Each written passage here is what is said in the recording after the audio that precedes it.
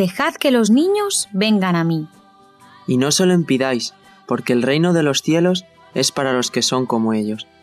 Siguiendo la buena enseñanza que has traído a los días de mi juventud.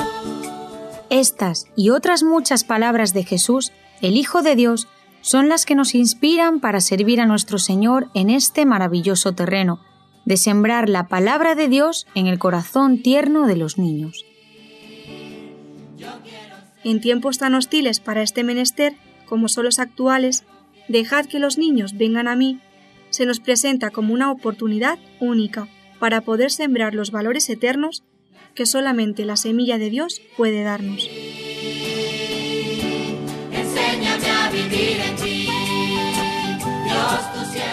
Dejad que los niños vengan a mí es un trabajo realizado por las jóvenes de la Iglesia Bíblica Reto a la Esperanza en La Coruña.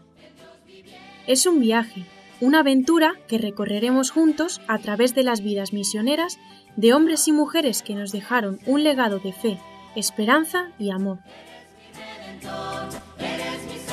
Dejad que los niños vengan a mí es la oración, súplica y el deseo ferviente de nuestros corazones, de conocer desde la niñez aquellas cosas grandes y maravillosas que Dios tiene preparadas para los que le aman.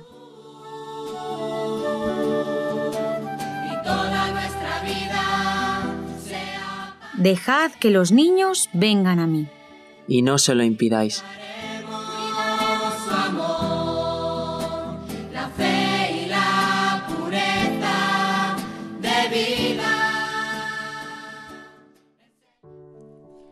Hola chicos, bienvenidos a la quinta parte de la historia de Adoniran Hudson. Si tuviéramos que describir la vida de los Hudson en dos palabras, quizás serían dedicación y sacrificio. Tuvieron que vivir muchas cosas difíciles y dolorosas, pero también Dios les permitió ver un poco del fruto de su esfuerzo.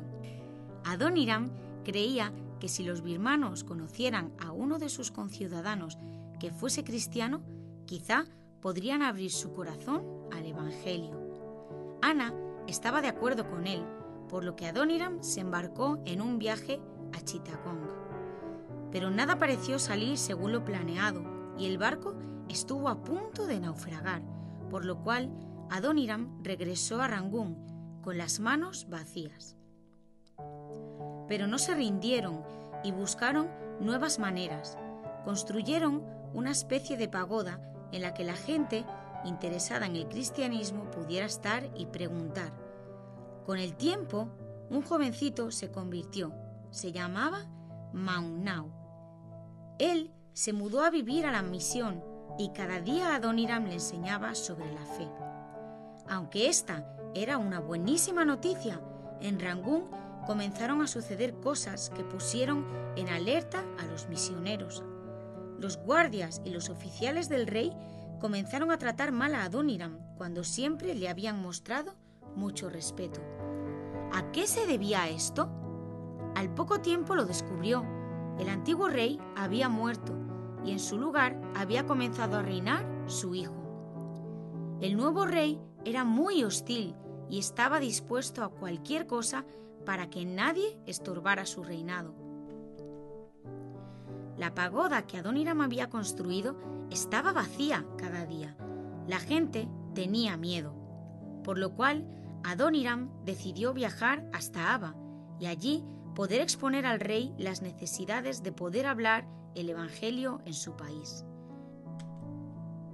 Por desgracia, el rey le prestó poca atención y no solo eso, sino que lanzando los papeles le denegó su petición.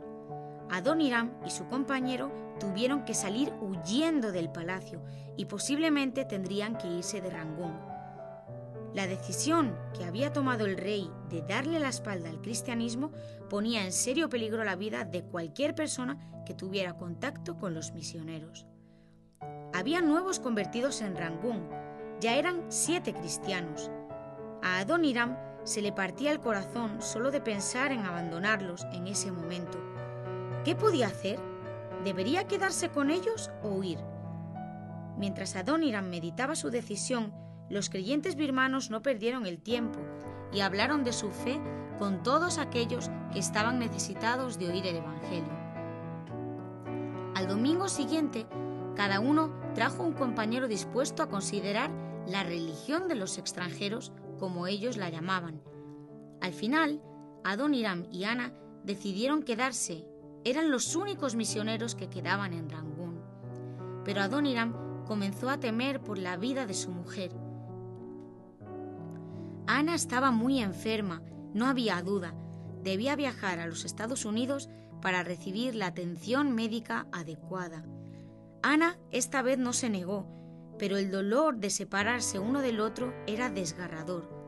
Tendrían que pasar por lo menos dos años hasta cuando pudieran volver a verla, en caso de que se recuperase.